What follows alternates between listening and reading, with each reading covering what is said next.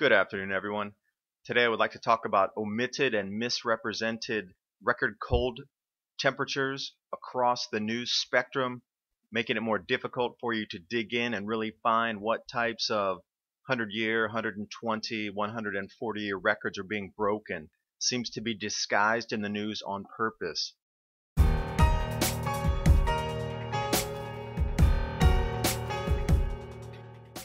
As I go through the information, I wanted to jump between two articles. The first one here, record breaking November Arctic cold. The second one I'll reference is November 14th, shattered cold and snow records for some.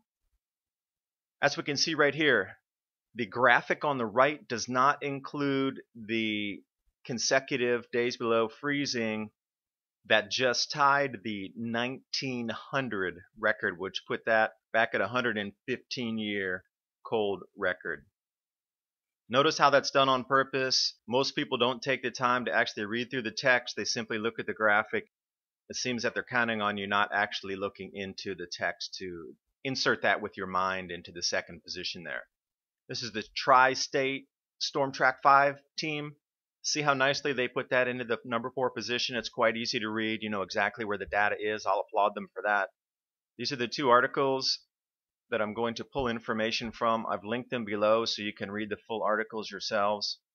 As a case in point, let's take a look at Burlington, Colorado.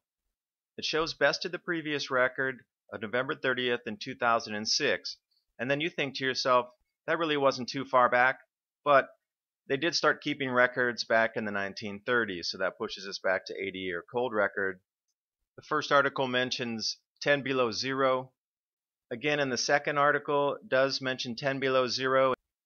When we come over here to the U.S. Climate Data Center, their records for the exact same day referenced are minus 6. That's a 4 degree warmer temperature than the recorded temperature was. So why is it 4 degrees warmer on that?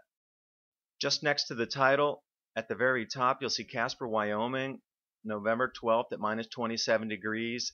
And then the very last line there November 23, 1985, what they failed to mention was the climate data actually goes back to 1939, and this was the coldest since 1939, and it was 50 degrees Fahrenheit below normal temperatures. Another example, Jacksonville, Florida. Look at how it reads. The very last line, they give you the date of it was 21 degrees exactly 20 years later on November 25, 1970. Okay, they give you the dates of 1950 and 1970, but in reality, the record that was broken was a 141 year cold record set in 1873. They give you the, the later dates, so it's disguised as not happening on a 140 year record. And we'll come back to Storm Track 5. After I saw this, I thought, hmm, let me look in and see what the temperatures in North Carolina look like. I quickly came across a story here talking about 22 inches of snow in the mountains of Madison County. And it's really easy to find this type of information inside the climate offices of each state in the United States. So went to the North Carolina climate office, put in the one day greatest snowfall total. Now wait a second, I just saw 22 inches on a record there, and this is supposed to be updated through December 2nd of 2014. Last month they had a 22 inch snowfall total. I don't see it anywhere. That would have broken everything by three times the amount at the number one position, all the way eclipsing 1903 1904. Why is that omitted? From the same article, they also have another snowfall total. Nearly three inches fell in Boone. You can find the Boone weather station here. Again, omitted details. There's nothing there. That would have slid right into the number four position. Why isn't it not there? This is a nice satellite view. It almost looks like a, a nor'easter coming in, some kind of spinning vortex there. I could continue to give you hundreds of more examples, but that's just kind of a redundant point.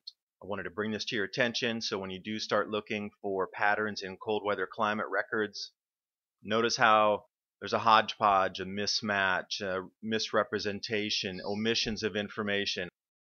That has to be done on purpose. It keeps occurring through major news sites, meteorological offices, major sites and informational portals that we go to, it can't just all be by accident that they're omitting or forgot to put something in the climate records. Thanks for watching. Hope you got something out of the video that can help you do a little more concise research on your own.